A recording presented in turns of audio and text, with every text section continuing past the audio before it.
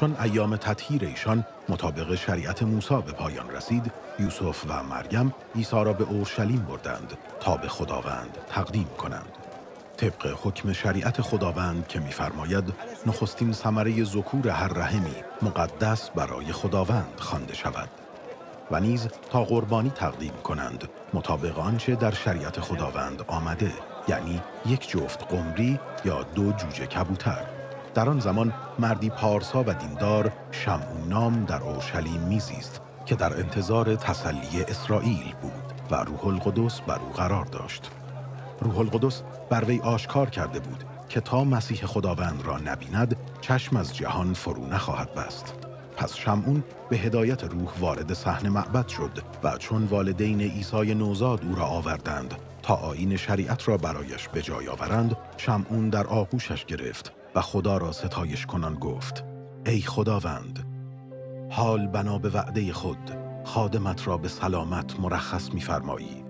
زیرا چشمان من نجات تو را دیده است نجاتی که در برابر دیدگان همه ملتها فراهم کرده ای. نوری برای آشکار کردن حقیقت بر دیگر قومها و جلالی برای قوم تو اسرائیل. پدر و مادر عیسی از سخنانی که درباره او گفته شد در شگفت شدند. سپس شمعون ایشان را برکت داد و به مریم مادر او گفت مقدر است که این کودک موجب افتادن و برخواستن بسیاری از قوم اسرائیل شود و آیتی باشد که در برابرش خواهند ایستاد و بدینسان اندیشه دلهای بسیاری آشکار خواهد شد. شمشیری نیز در قلب تو فرو خواهد رفت.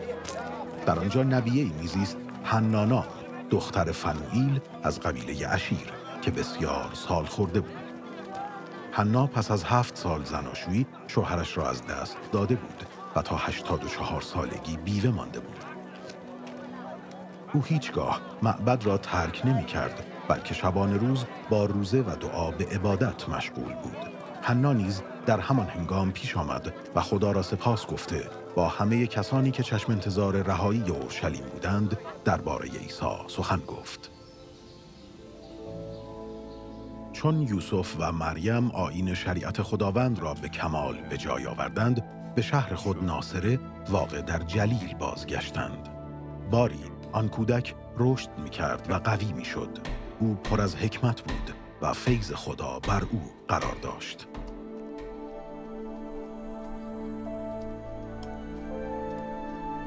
والدین عیسی هر سال برای عید پسخ به اورشلیم می رفتند.